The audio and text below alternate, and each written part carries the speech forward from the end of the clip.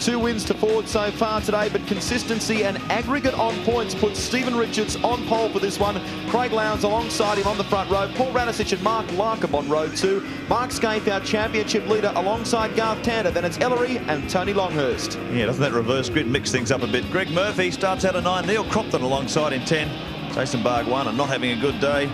So too Larry Perkins. Russell Ingall after that jam gearbox finds himself starting out of 13th and Paul Weel out of 16.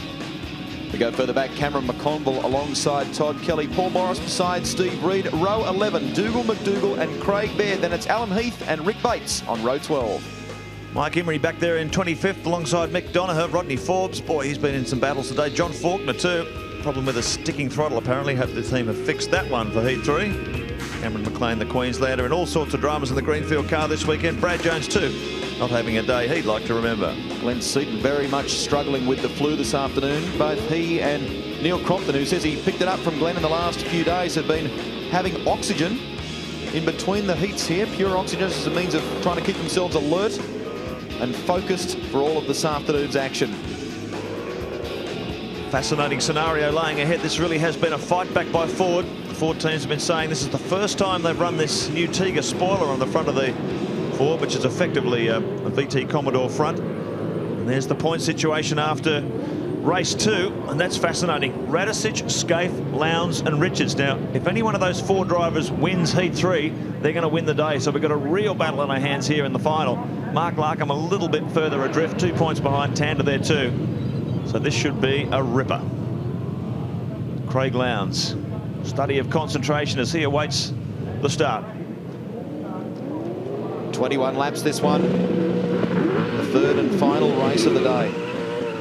We could see some real changes to the structure of this championship too, particularly the battle for second place. Glenn Seton was 37 clear of Garth Tander coming into this round. He had a non-finish in race two and is starting, as you saw, well down the order in the third race of the day, struggling very much I tell you, you saw on the warming up lap, you saw the um, the muck and dirt off the line. You wouldn't want to get, once your tyres are hot, get pushed off line until you'd be really in the trouble to pick all that lot up. We've been lucky with the weather here today. Some ominous clouds overhead, but there's been no rain. Will it be Lowndes or Stephen Richards?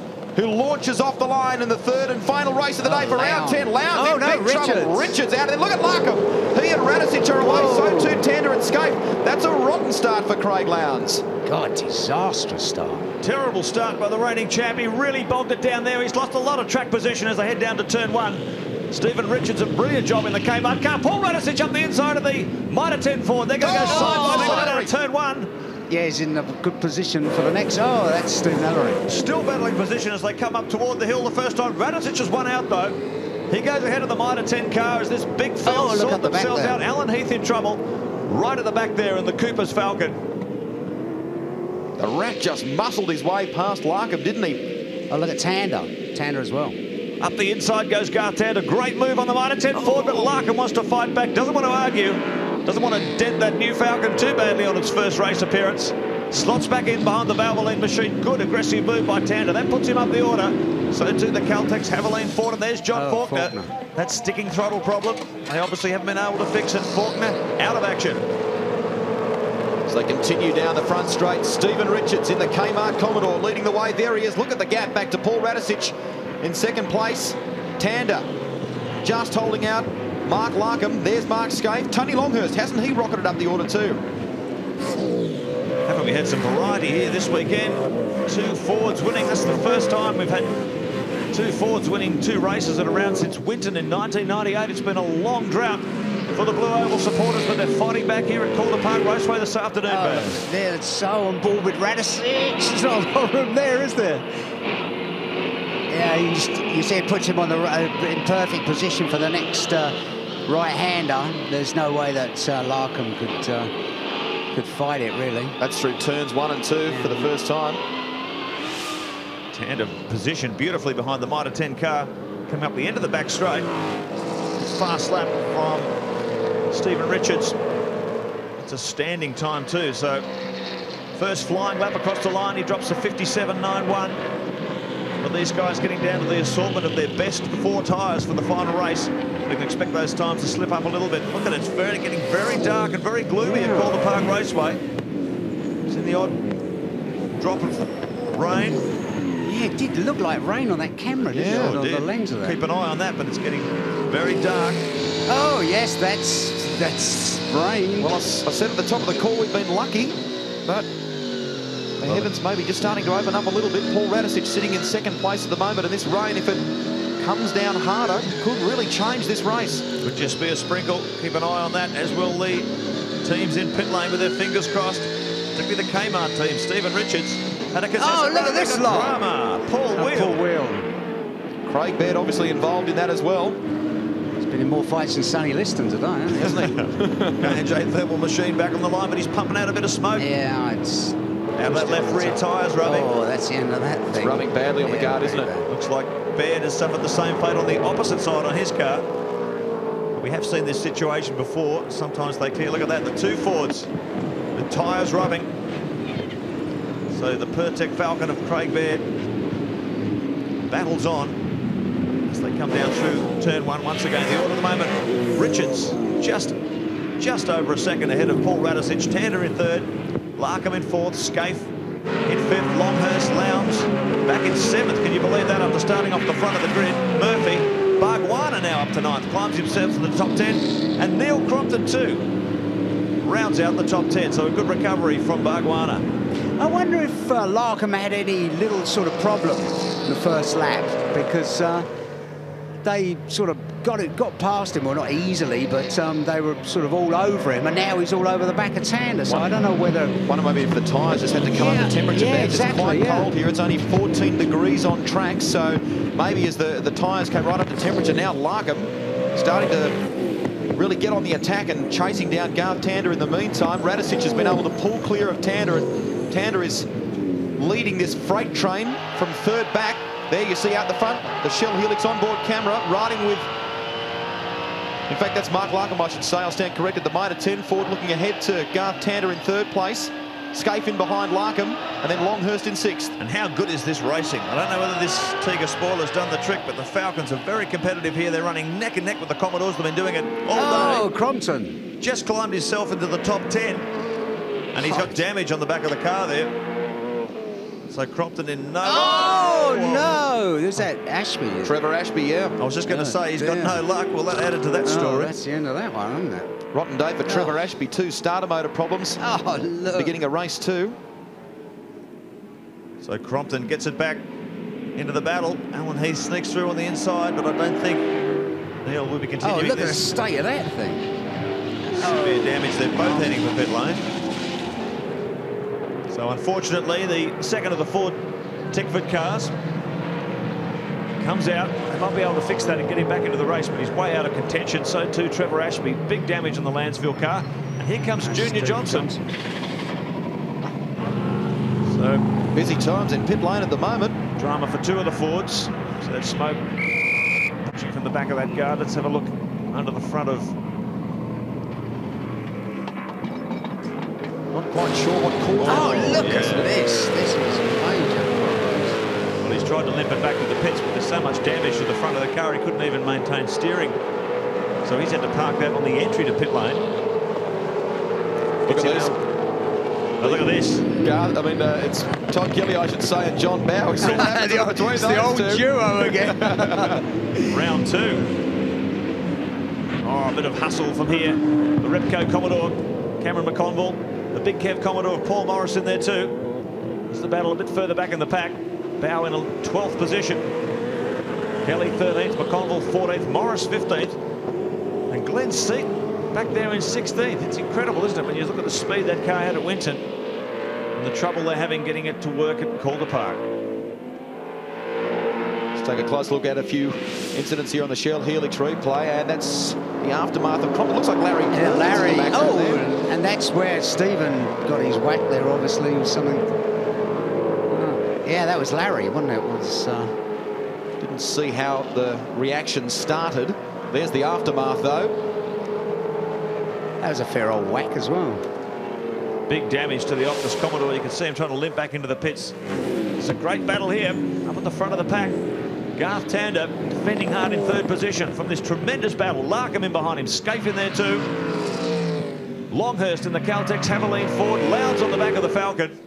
Murphy in eighth, Bargwanna in ninth. Ingall now climbs up into the top 10. Looks as though Radisich has been able to close that gap slightly on Stephen Richards, our leader as well. So Radisich being able to pull clear of, of Tander, that's aiding his bid to try and chase our leader down. Here's Garth Tander. I think if Tander, I was going to say, if uh, Larkham could get out of this right up the backside of Tander, you see the fall when he gets into like fifth and sixth gear, starts to now you see it starts to gain on the uh, on the Holden, but he needs to come out there right up his bottle to be able to get past him at the end of the straight. And then you still got to get past him. Damage to the front of Larry Perkins, yeah. Commodore there.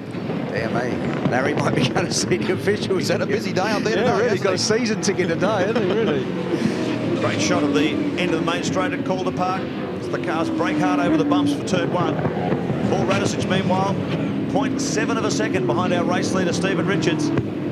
Shell Ford driver trying everything to get in front. Keep in mind, Radisich, Skaife, Lowndes and Richards, any of those four drivers win this final heat, they will win the day overall. So there's a real incentive there for Paul Radisich to try and get his way in front of that Kmart Commodore because that'll be the first Ford round win for season 2000. Here's Brad Jones, who had problems with a broken wishbone on the car heading into this race. The team were working frantically to make sure it was repaired in time for the race. They've done it. Look at this battle going on here. McLean all over the back of Dougal. McDougall coming for the ride as well. Rodney Forbes, he manages to sneak past McLean. The final turn that brings them onto this long drag strip at Calder Park.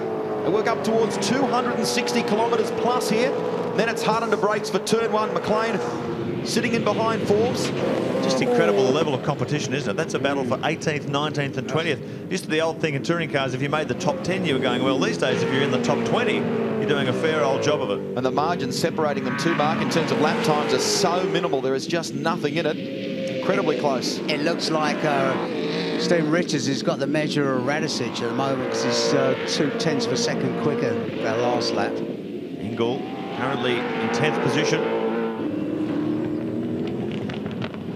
Just past Bargwanna, in fact, so that puts him up to ninth. Check this out in the replay. So Russell Ingall continues to defend.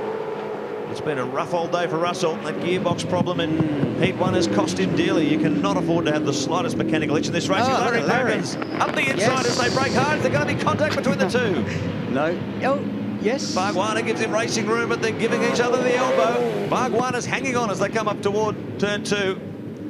Turn three over the hill, continuing to attack in the Valvoline Cummins machine, but Perkins got him. Let's have a look at that in the replay. There's, yeah, Ingall up the inside on the brakes. This is one lap beforehand. Yep, it was a nice tidy move. Larry had a sniff as well. He had to wait another lap before he got past the Valvoline Cummins machine. That put Ingall up to ninth, Bargwanna to 10th. And then Larry took Bargwanna, dropping him back to 11th place. I reckon Barks might be struggling with something because he didn't, uh, you know, he wasn't trying to protect protect the corner at all, was he? You know, he gave um, Russell plenty of room, and if you look there, Larry's pulled out a decent amount of ground in half a lap. Well, if you've just joined us, Stephen Richards leads the way from Paul Radisich and Garth Tander. The gap closing too between Radisich and Richards. Larkham in fourth, Mark Skaife fifth. Craig Lowndes, the defending oh. champion, has gone from the front row of the grid back to seventh, courtesy of that bad start, unfortunately. We'll look further back through the field for you. Russell Ingall, there he is, now up to ninth position. Bargwanna 10th. John Bowe rounds out the top 12 at the moment. Stay with us. The closure of race one coming, race three rather, coming your way right after this. Stephen Richards leading the way in the final race of the day for round 10 of the Shell Championship Series. You can see there, though, as they work down that back straight, the gap between Richards and Paul Radisich is starting to close. Radisich, our race one winner today. There's been two victories for Ford here at Calder Park. Mark Larkham winning race two. Well, this is a tremendous battle. These two have been swapping some very fast lap times over the past 12 circuits. That last time around, Radisich dropped three tenths of a second on Richards, allowed him to pump it out to just over a second. We'll check it on our timing monitor this time across, but this is an intense battle now for the lead. Oh, it's pretty close now. Both these drivers know that whoever wins this race will win the round overall. 1.1 seconds, so Richards has done it again. Just a tenth of a second faster than Radisich this time around. This is intense stuff. Both drivers trying to find an advantage as they pick their way through traffic. Richards knows he cannot afford to even blink and Radisich will pout. Over the rise, the inside of Alan Heath's Falcon. Yeah, he did a good job of getting out of the way. Gave him room. Radisich under brakes at the end of the back straight. It's been a very strong performance from the Shell driver. Currently fifth in the Shell Championship Series point standing, some 77 points behind Craig Lowndes.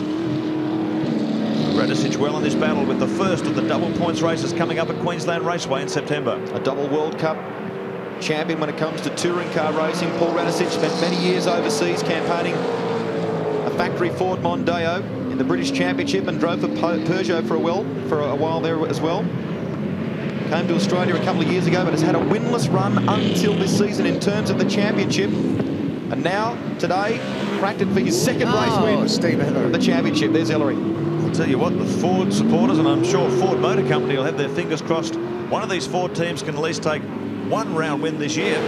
Because don't forget, in 1998, they only won one championship round. They repeated that in 99 with Jason Bright's sole victory at Hidden Valley. They are staring down the barrel this year of not having won one single Shell Championship round in 2000. And they've got four more chances to do it. Time running out for the Blue Oval. Todd Kelly and Bowe are still together. That's uh... great battle here between the veteran and the youngster. We saw them come together. High-speed circumstances earlier on in the day. Now they're glued together. There's almost a rubber band between them at the moment. John Bowe carrying our B clear and Simple onboard camera. Swing on to the main straight once again. Glenn Seton doing a marvellous job here as well, given that uh, he's not a well boy at the moment in the Ford Tickford Racing Falcon. He sits in behind this great, great battle going on between Bowe and Kelly. It's been raging for a couple of laps now. The Caterpillar Ford driver sits in 12th position, Kelly 13th and Glenn Seton in 14th. Uh, what about the in-car camera stuff we had? In, oh, a little, oh, bit, of a tap. bit of a tap there. Oh, more than a love tap there from Todd Kelly. We had some in-car camera stuff of uh, Glenn Seton of his face, and he was driving around in qualifying, coughing, he's spluttering. It looked uh, quite strange, actually. He actually had the week off work, which is quite rare for him, and he's talking today about taking next week off as well. He's just not well. He said he needs time off to recuperate, particularly with the endurance races coming up. We talked to him, he's just about lost his voice. He's not well at all. He's battling here, though. Ford Livet in-car camera, riding with Glenn Seton, currently second in the Shell Championship chase. Locked in a battle for 12th position between John Bowe and Todd Kelly. Twice champion in the series, 93 and 97. It's been a while between drinks for Glenn. Took a race victory, of course, very recently for FTR at Winton. So we jump aboard. Be clear and simple telemetry on board the Ford credit car. Look how close he gets behind to Kelly as they dive on the brakes at the end of the straight. Tell you what, that car Todd Kelly's is pretty quick. Yeah, he's done a good job this year. Of course, won that heat at Canberra doing the GMC 400 earlier. He has dramatically improved his performances this year over last year as he comes to grips with what's required to drive these V8 monsters. Tells the story about 240 kilometres an hour before they brake hard on the approach to the corner at the end of the back straight. Through the S's. So Glenn Seton hard at work, trying to improve on his 14th position at the moment. Meanwhile, at the front, 1.5 seconds. Stephen Richard just pumping it out on Paul Radisich. Shell Ford has had no answer for the Kmart machine here this afternoon. This is strong, consistent race pace from our race leader. Paul Radisich almost 1.6 seconds in arrears of the Kmart Holden. Well, what a day this has turned out to be in terms of against all odds victories. Four laps remain in this one. Race one we saw Dick Johnson racing, and here's the second of their campaigners. Stephen Johnson into the pits again, and apparently there is damage to the back of that car, one of the back doors. But as I mentioned, a great win for Paul Radisich, his second ever victory in the Shell Championship Series. It came in race one today and a much needed win for Ford. Then we saw Mark Larkham break through for his first in race two today. And the Kmart team, they are certainly coming good. Stephen Richards, to give you an idea, has been improving his qualifying this season. It's the fifth meeting in a row he's qualified inside the top 10. So the Kmart team are definitely making inroads. Greg Murphy has got a new car this weekend. They're still working on that one. But there's a great likeness between the cars now in terms of their design and build, and the drivers say thankfully they can now work together at getting both of their cars up the front. Yeah, they can compare their setups accurately and see which one works best. That's always the advantage of having a two-car team. Two drivers can go out on totally different setups. They'll find which is the most effective, and then they can both duplicate that setup. And they haven't been able to do that previously with the Kmart team, but now they've got identical cars. This is really going to help them in their technological chase. But some new people on board there, Ross Holder, Oscar Fiorinato, the man who used to be chief engineer on Russell Ingall's car, switched over from the Perkins camp this year. So there are changes happening at Kmart Racing, and they are really starting to gel as a team. Keep in mind, they're only under the Kmart collars, only a relatively new team, it does take a while to gel into a genuine championship and race-winning operation. Richards, uh, Richards definitely got uh, got the handle on Radisich. He's just putting a tenth of a second a lap. So it's, I don't think there's any problems for Richards. 1.8 seconds the gap now, almost two seconds. So Richards has been inching away from the Shell Ford. This is the battle behind them, though. Mark Larkham in fourth. Longhurst is going good. Tony Longhurst, Craig Lowndes locked in there too. He has been able to do nothing about this after qualifying on pole position and due to the aggregate score, finding himself on a front row starting position for Heat 3, he finds himself down in seventh place. It's been a pretty disappointing day for our reigning champ. The Enforcer continues his charge up through the order as well. Has now gotten past Greg Murphy into eighth position. We take a look out the back of Mark Larkham's Mitre 10 Ford. You see Good drive Mark out of Skaife, there. yeah, really got clear of Skaife there, didn't he? Longhurst in behind Skaife, then it's Craig Lowndes. The important thing to remember here too that Mark Skaife, after race two, had extended his lead over Seton to 173 points.